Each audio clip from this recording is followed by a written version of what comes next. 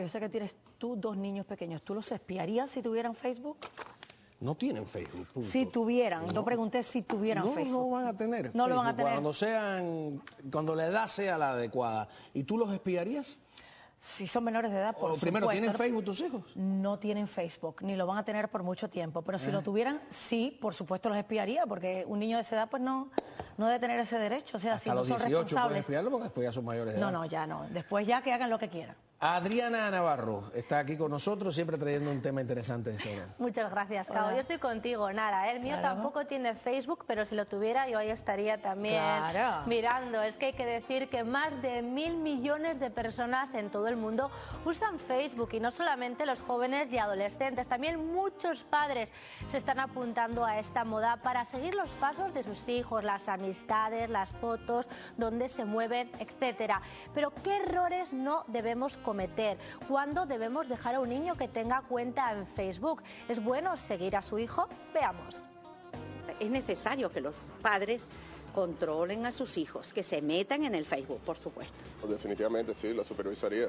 De esa forma podría ver qué es lo que están montando en el Facebook. Mi mamá tiene Facebook y nosotros, yo le digo todo, entonces no, no me importa que ella me vea el Facebook ni, ni que ella está mirando lo que estoy haciendo. Según una reciente encuesta realizada en los Estados Unidos, cerca del 72% de las madres tienen una cuenta en Facebook.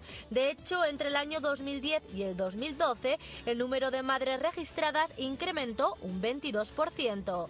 El motivo principal, vigilar los perfiles de sus descendientes, revisar qué les escriben en sus muros y ver las fotos en las que son etiquetados.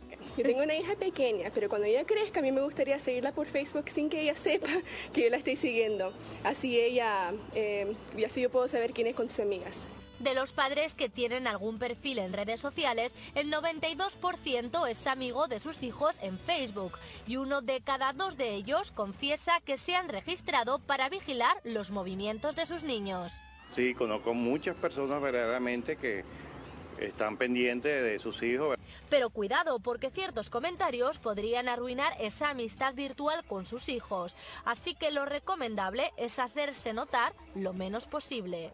No decir, por ejemplo, mi bebé, qué lindo estás, estás hecho un hombre, porque el hijo está haciendo su vida de, de social a través de, del Facebook. Y el padre no tiene que estar allí haciendo de amiguito. Si le escribo me doy la oportunidad de que me saque, simplemente, o sea, le, le doy- le doy opciones. Prefiero no hacerlo. ¿Y si te saca entonces de Facebook? Eh, vuelvo otra vez, lo busco nuevamente, lo agrego como bajo otro perfil, otro nombre de una chica de repente para que él esté atento y ahí lo puedo seguir.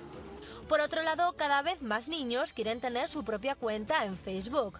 La edad mínima para registrarse en los Estados Unidos es de 13 años, aunque muchos se saltan las recomendaciones y solo con introducir un par de añitos más en su registro ya pueden disfrutar de esta red social. Se estima que cerca de 7.5 millones de niños por debajo de la edad permitida están en esta red, pero es algo recomendable que deberíamos hacer como padres. Yo recomiendo que mientras más tarde mejor, porque son medios que son doble filo, porque igualito te hacen bien, igualito te hacen mal. Y cada día vemos que hay más cosas raras que aparecen en el Facebook. Bueno, yo como madre me quedo con eso, contra más tarde mucho mejor. Y seguir a sus hijos en Facebook puede ser una buena herramienta, pero lo más importante es fomentar la comunicación y la confianza a través de otros medios, como por ejemplo planear salidas conjuntas, invitar a sus amigos a la casa, cenar juntos. De hecho, está comprobado que aquellos niños que cenan en familia tienen el menor riesgo de caer en drogas e incluso de ser obesos. Así que ya lo saben, no todo recae en Facebook. Ahora seguimos con más noticias.